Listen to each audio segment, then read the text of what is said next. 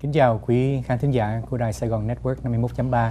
Tôi mục sư Nguyễn Vương Ngọc Linh điều hợp chương trình à, góc nhìn tôn giáo buổi tối hôm nay và trong à, phòng của chúng tôi có sự hiện diện của Hòa thượng Thích Huyền Việt, cư sĩ Nguyễn Anh Dũng cũng như linh mục à, Trần Ngọc Hùng. Xin kính mời quý vị gửi lời chào đến quý khán thính giả. Dạ, Dịch à, tôi là Hòa thượng Thích Huyền Việt xin được trân trọng kính chào toàn thể quý vị đồng hương khán thính giả của đài Sài Gòn Network TV 51.3 kính chào mục sư điều hợp này kính chào cha và kính chào cư sĩ. Yeah.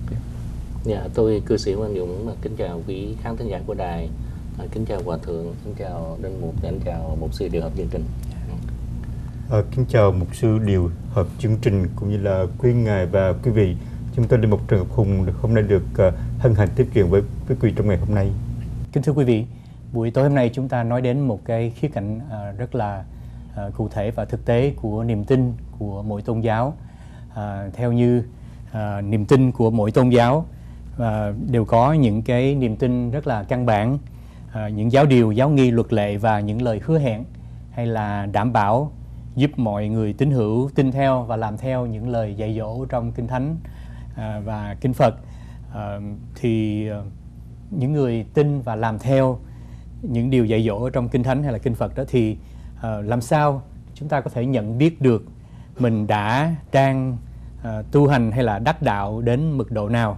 Thì ờ, ở trong ờ, kinh thánh hay là kinh Phật thì ờ, quý vị có thể chia sẻ trong cái niềm tin của mình nói đến cái sự cụ thể người đó biết chắc như thế nào trong cái niềm tin mình, mình đã và đang đạt được đến cái mức độ nào ở trong cái lĩnh vực đó. Dạ, xin kính mời hòa thượng bắt đầu.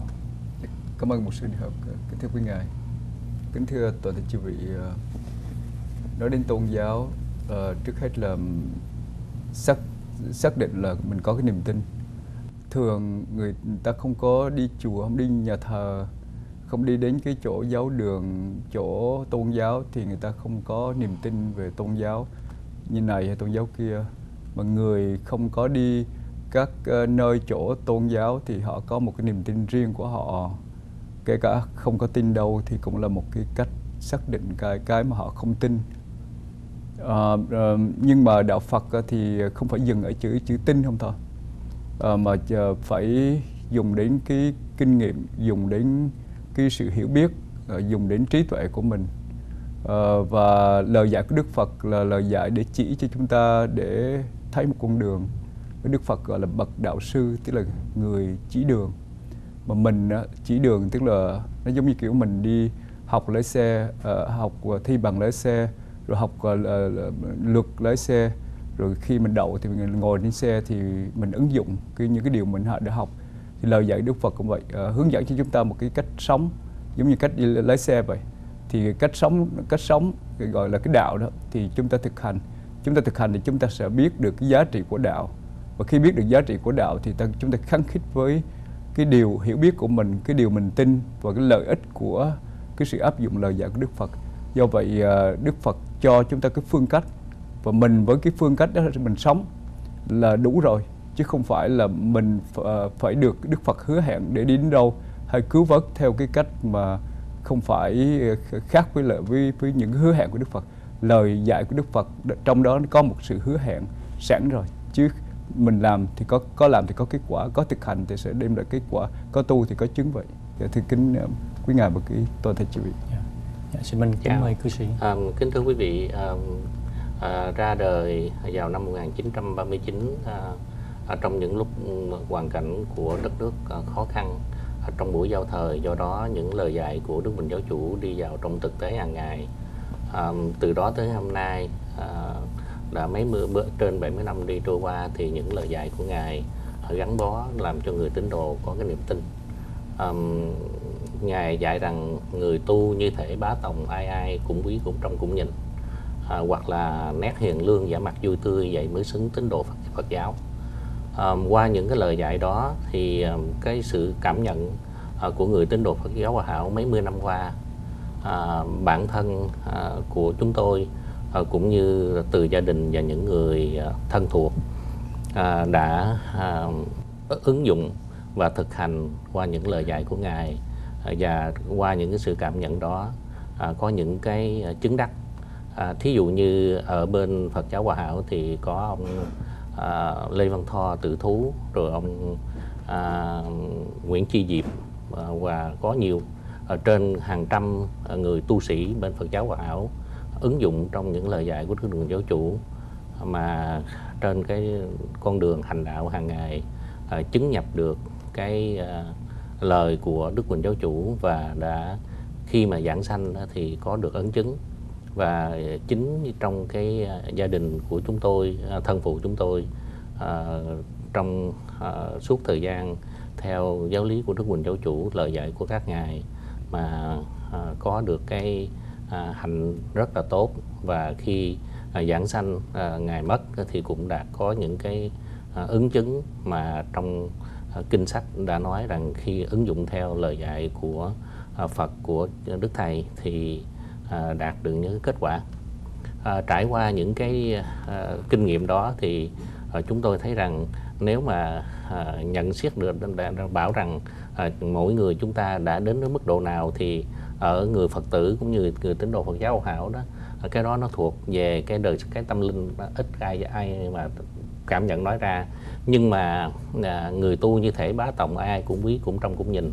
À, có nghĩa là khi à, thấy người đó đối đãi với lại những người xung quanh à, rồi cái à, cái đạo đức hạnh kiểm thì những người xung quanh sẽ cảm nhận được là cái mức độ của người đó đạt đến đâu. Và chính cái sự đứng đầu đó thì nó sẽ nó nói lên được là cái tâm của người đó như thế nào mà như Đức Quỳnh Giáo Chủ dạy là tâm bình tĩnh được thì phát huệ. Dạ, cảm Dạ. ơn cư sĩ. Dạ, kính mời Linh Mục. À, kính thưa quý ngài, kính thưa quý vị, đối với riêng cá nhân của chúng tôi tin vào tình yêu thương vô biên của Chúa và cái tình yêu thương này tin, tin vào niềm tin đó không có dựa vào và những cái cái ờ, khối lượng là bình tin bao nhiêu hoặc là đo lường bao nhiêu nhưng mà dựa vào cái cái chất lượng có cái chất lượng có nghĩa là mình sống theo cái tình yêu thương đó mình đã bày tỏ như thế nào đối với Thiên Chúa? Chúng tôi yêu mến Chúa. Chứ không chỉ vào với con về trí óc nhưng mà chính về con tim, về tâm hồn của mình đã thấy được là Thiên Chúa hiện diện đi cạnh thật sự và nâng đỡ trong mọi lúc. Chính cái niềm tin này mà nhiều khi là gặp sự mà thử thách trong cuộc đời, có nơi mà bám víu lấy, có nơi nương tựa lấy.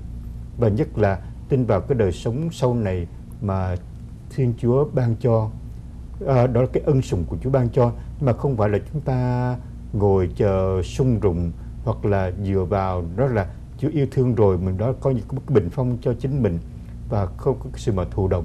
Nhưng mà phải sống như thế nào để mà bày tỏ cái tình yêu thương đó trong cuộc đời? Để bày tỏ cái rằng là chúng ta yêu mến Chúa qua cái hành động của chúng ta đối với những người xung quanh.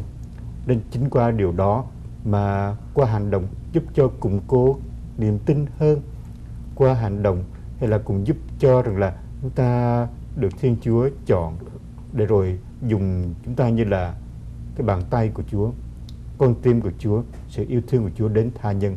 Nên cái cái niềm tin đó phải có sự sự mà sống động. Nên chúng tôi chú trọng là niềm tin được đo lường không phải bằng cái cái cái khối lượng nhiều hay ít nhưng mà bằng cái chất lượng, cái cách sống của mình. Dạ, đối với người ờ, tin Chúa thì ờ, tin chắc chắn vào nơi lời của Chúa hứa trong Kinh Thánh và tin Chúa Giêsu là đường đi chân lý và sự sống. Thì um, nói đến à, cái sự hiểu biết hay là sự nhận biết thì người đó nhận biết mình có một mối liên hệ với Chúa Giêsu và với Đức Chúa Trời là Cha của mình. Biết à, tội của mình được tha và linh hồn của mình được cứu cũng như nhận được sự sống đời đời của Chúa ban cho. Cho nên à, người tin Chúa thì uh, Ờ, có thể nói là lúc mới đầu như là những trẻ con, ờ, những con trẻ trong ờ, niềm tin và dần dần học lời Chúa, bước đi theo Chúa, thờ phượng Chúa cũng như cầu nguyện và sống với niềm tin đó thì cái đời sống đức tin đó sẽ tăng trưởng và lớn lên và đến sự hiểu biết ờ, hay là sự trọn vẹn ở trong Chúa của Thế Giêsu hay là nhận biết Chúa Giêsu là cứu Chúa và đặt Ngài làm chủ cuộc đời của mình. Cho nên ờ, cái sự trọn vẹn trong đời sống theo Chúa đó thì nó là một cái tiến trình À, bước đi theo Chúa nhưng tất cả những người tin Chúa thì nhận biết rằng mình có một cái mối liên hệ với Chúa và nhận được sự sống đời đời cũng như nhận được sự sống sung mãn của Chúa hứa ban cho mỗi chúng ta. Cho nên à, lời Chúa có phán là ai có Đức Chúa Trời uh, ở trong lòng của mình hay ai có Đức Chúa Con thì có sự sống, ai không có con Đức Chúa Trời thì chẳng có sự sống. ta đã viết những điều này cho các con hầu cho các con biết mình có sự sống đời đời là kẻ nào tin đến danh con Đức Chúa Trời và người ta sống theo cái niềm tin đó. Xin ờ, quý vị đừng rời làn sóng, chúng tôi sẽ trở lại sau vài thông tin thương mại.